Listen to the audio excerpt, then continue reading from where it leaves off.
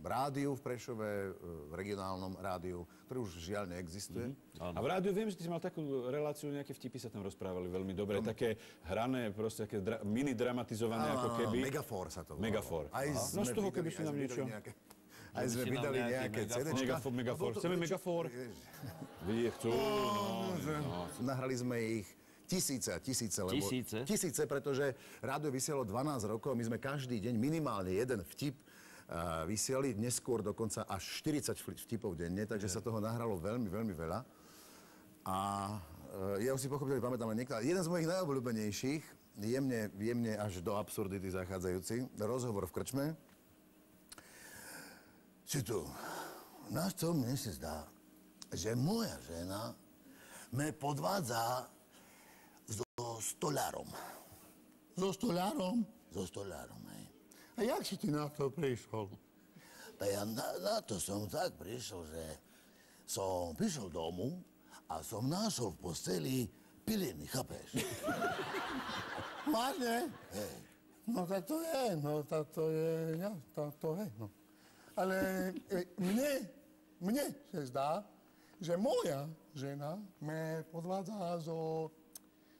No nie som sa istý, hej, ale ako mám také podozrenie, sú tu isté také, také pochybnosti, no, že moja žena me podvádza so železničarom. So železničarom? Hej, so železničarom, no. No a jak si na to prišiel ty? To ja tak som na to prišiel, ale ktorým si nie som sa istý, no. Je také, že možno. Tak som prišiel na to, že som prišiel domov a som našol v posteli železničara.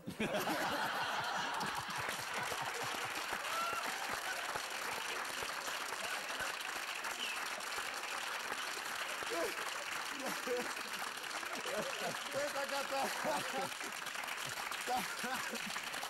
Nie, a takýchto blbostí, takýchto blbostí sme ponahrávali strašnú spustu. To sú odpočuté rozhovory s krčmi. Taká tá naivn, naivná dobrota tých ľudí, že nie som sa istý, no. Ale Možno, počkaj, že- ešte, ďalš, ešte ďalšia vec je, že v tej východňarčine to fakt znie, vieš, lepšie, lebo keď to No povieš jasné, normálne, jasné. nie som si moc istý, bol som tak doma, nie som, vieš, a bol som železničiar. Nie? Je to také, no ešte jeden, takýto, Ale ten, no. ne, nečudujem sa, že tento je obľúbený. To je skvelý, no. No. Tá je veľa také, a sú krátke, super krátke, s krčmi odpočuté. Áno. Sedia dvaja už dosť toho vypili v krčme, zrazu jeden hovorí. Nemáš keľo hodzen? Znám. Díky.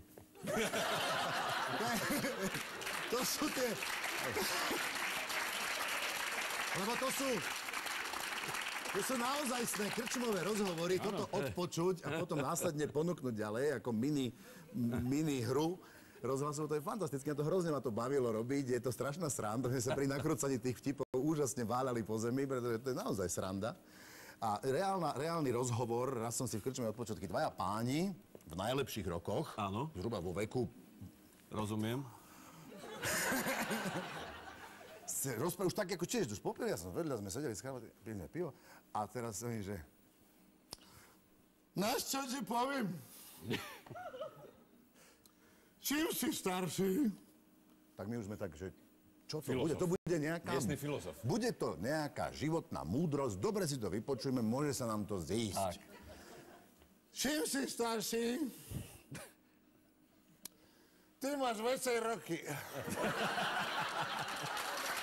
to sú...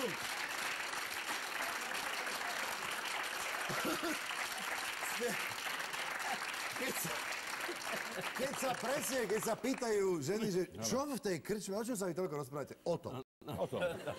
Že sú zásadné veci. Tam sa príde na také úžasné momenty proste. To je, keď chlapík sedí v krčme, prí- príde za ním syn hovorí, ocu, ocu, poď domu, bo mama ťa volá, že poď domu. Si ho musí sa šedni, tu šes, borovičku.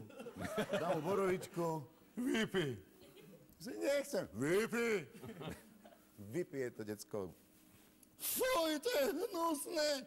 No vidíš, tvoja matka si myslí, že ja tu medližem.